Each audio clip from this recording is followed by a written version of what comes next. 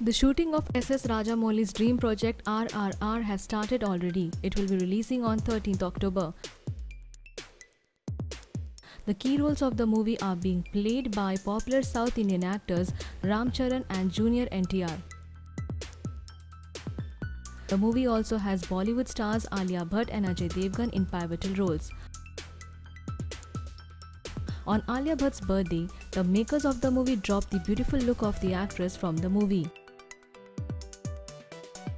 She is playing the character of Sita and got casted opposite Ram Charan. And if the recent reports are to be believed, then the director of the movie, S.S. Rajamouli, has decided to extend her character.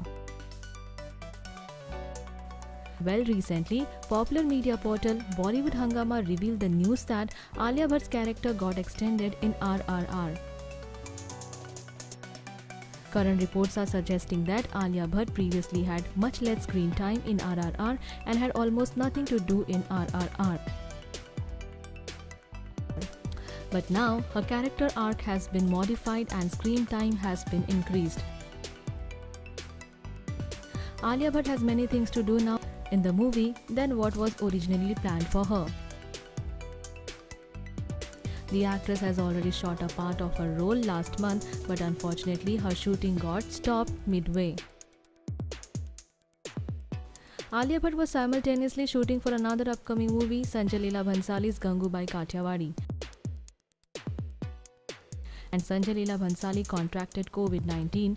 Not only him, Alia's Beau Ranbir too tested positive for COVID.